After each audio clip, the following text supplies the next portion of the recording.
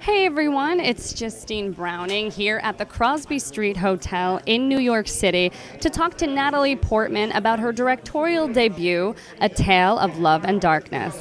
I understand that you actually consulted with some of the amazing directors you've worked with in the past before starting this project, and I'm, I'm curious was there advice that they gave you that didn't make sense until you were actually in production on this?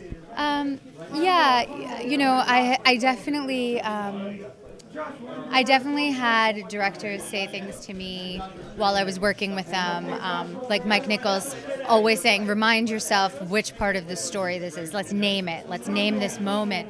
And then you realize when you're telling a story how important it is to get everyone um, really um, on the same page about what story you're telling all the time and keep reminding yourself because there's it's just so much. It's such a big um, thing to keep your eye on that to have um, to remind yourself each moment what point in the story you are is so important. Well, that's interesting because I know you've been a fan of this book for 10 years. Were there moments of the book that you wanted to put in the film, but it didn't serve the narrative? But for you personally, it was difficult to let go of those? Absolutely. Um, there are things we even filmed that, that, you know, didn't, I ended up not putting in the film that I loved. Um, you know, things of, um, of Amos at the kibbutz later, um, talking politics with his sort of mentor, and it just didn't fit really the um, the the narrative of the film. But were very very beautiful scenes. So yeah, but that's sort of